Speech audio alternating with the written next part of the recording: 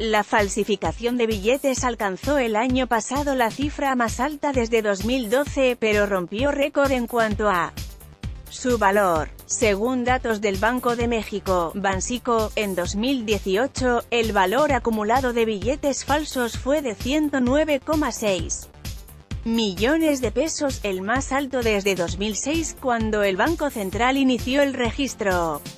Detienen a los cubrebocas, banda dedicada al robo en cajeros de la CDMC en ese periodo la falsificación creció 60% y los billetes de 100, 200 y 500 pesos los más reproducidos. Según estadísticas del Banco Central, durante el sexenio pasado el billete de 500 pesos fue el más falsificado. La reproducción ilegal de piezas de esta denominación creció casi 10% en comparación con 2017.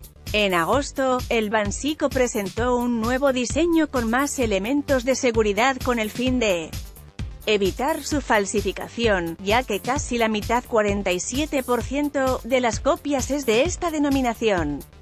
Aunque el de 500 pesos es el más copiado, destaca que el año pasado la falsificación de piezas de 100 pesos fue la que más aumentó, pues se detectaron 30% más piezas ilegales.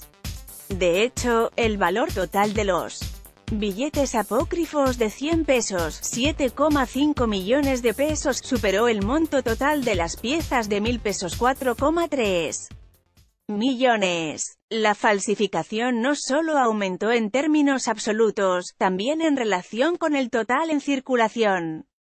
Los datos indican que en 2017 había 64 billetes falsos por cada millón auténticos, el año pasado se detectaron 66,8 falsificaciones. Este crecimiento fue impulsado sobre todo por las copias de 100 y 200 pesos.